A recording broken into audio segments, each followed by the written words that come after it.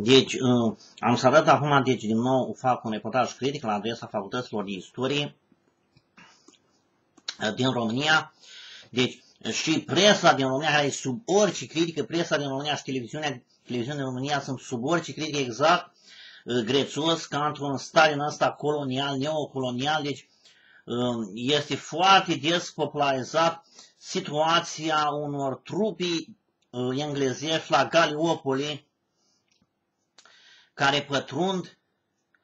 uh, să spunem, uh, acolo în primul război mondial, deci uh, flota engleză atinge Dardanelli, atacă cumva Constantinopolul, Istanbulul, câteva regimente din astea slab pregătite,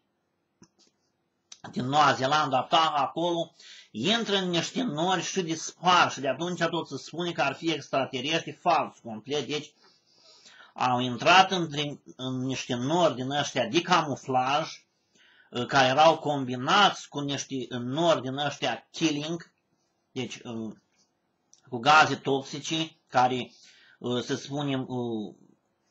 se declanșează când intră toată unitatea în nori, deci sunt uciși, după aia cu substanțe levitaționale sunt ridicați și evacuați. Asta a fost tot, deci o manevră foarte bună a turcilor. Bineînțeles că manevrele astea nu se pot face așa pe o linie continuă de front, să fac numai pentru uh, unități izolate. Deci ăsta este cazul de la Galiopoli. Ăsta e cazul de la Galiopoli, deci un, o apărare extraordinar de bună a turcilor în presa românească, tot apar că ar fi extraterestri, că au aterizat niște navi, efectiv oameni ă, sub orice critică, la 1930-35 ă,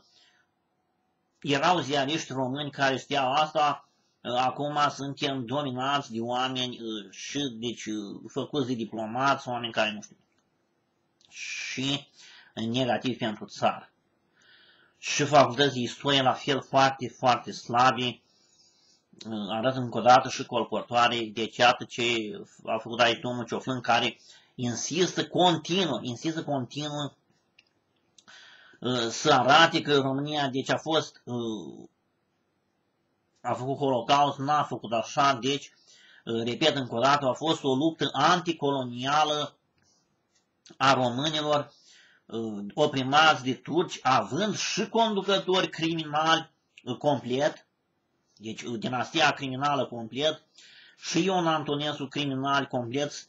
stabil, criminal complet stabiliți pe la aceste adunări ale diplomaților, dovedit foarte bine încă de la 1835, deci oameni sub orice critică.